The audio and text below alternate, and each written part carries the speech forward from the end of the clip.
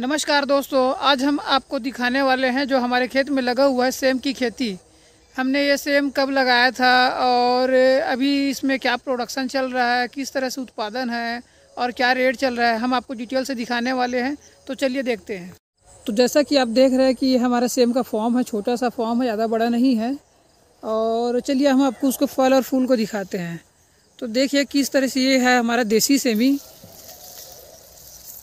इसको अग्नि सेमी भी बोलते हैं। इसका जो फल लगता है, गुच्छे में लगता है और बहुत ही बेहतरीन उत्पादन आता है इसमें।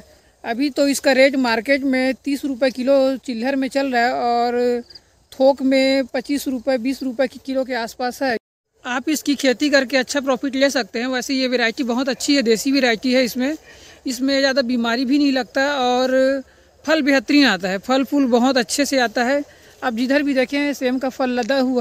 दोस्तों, इस वैरायटी को तो वैसे जून से लेके आप अक्टूबर तक लगा सकते हैं। मैंने खुद इसे एक अक्टूबर को बीज से खेत में सोविंग किया था और अभी के डेट में फरवरी लगने वाला है। लगभग लगभग ये मार्च, अप्रैल और जब तक मेरा पानी चलेगा, तब तक इसमें फ्रूटिंग आते रहेगा। लगभग लगभग पंद्रह मई तक भी आ सकता है। इसमें मांदा से मांदा की दूरी चार फीट है और पौधों से पौधों की दूरी दो फीट ढाई फीट पे लगा हुआ है। तो आप भी इस तरह से खेती कर सकते हैं।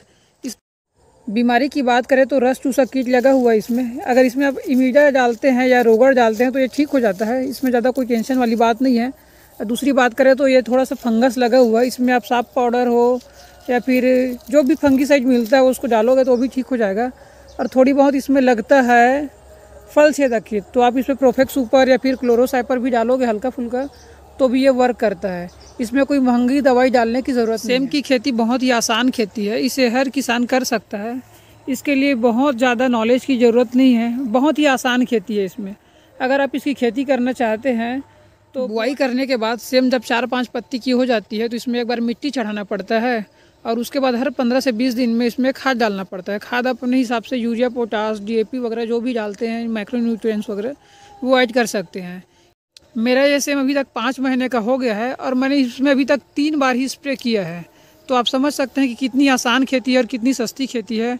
तो उम्मीद करता हूँ कि आप भी इसकी खेती कर, अधिक से अधिक मुनाफा ले सकते हैं। दोस्तों, वैसे तो ये मेरा पहला वीडियो था। उम्मीद करता हूँ आप सभी को अच्छी लगी होगी और वीडियो को पूरा देखने के लिए आप सभी का धन्यवाद।